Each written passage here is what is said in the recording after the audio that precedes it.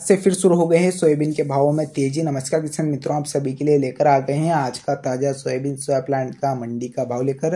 आज की वीडियो में आपको विस्तार से आवक मंडी का भाव बताया जाएगा। कितनी तेज़ी, क्या भाव हमको क्वालिटी अनुसार अभी देखने को मिल गई है। पिछले दिनों में हमको क्या भाव किसान मित्रों देखने को मिल रहा था?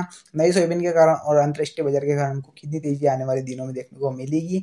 तो महत्वपूर्ण जानकारी जानने से पहले आप सभी से छोटा सा निवेदन हमारे द्वारा रहे। चैनल को अभी तक सब्सक्राइब नहीं किया है, चैनल को सब्सक्राइब करके बेल आइकन दबाना मत भूलिएगा उससे हमारी वीडियो की नोटिफिकेशन आपको समय समय पर मिलते रहेगी। चैनल आपको बिल्कुल सही जानकारी हमारे द्वारा आपको बताई जाती है। आपको कोई डाउट होता है कि इनकी आवक मंडियों का प्रमुख मंडियों का भाव आप जानना चाहोगे, उन मंडियों के में हम विस्तार से लिख सकते हो। चलिए किसान मित्रों, हम बात कर लेते क्या भाव हमको अभी देखने को मिल गए हैं।